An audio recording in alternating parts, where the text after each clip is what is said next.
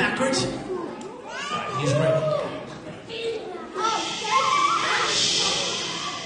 Ethan, I'm going to toss the club. It's going to come flying. If you catch it with two hands, everyone here is going to give you a big clap, for cheer. Ready, buddy? Let's do this. No, come on, give me it. Seriously. All right, whatever. Here we go. Ethan, hold your legs like you're running. Get a good stance. When he catches his club,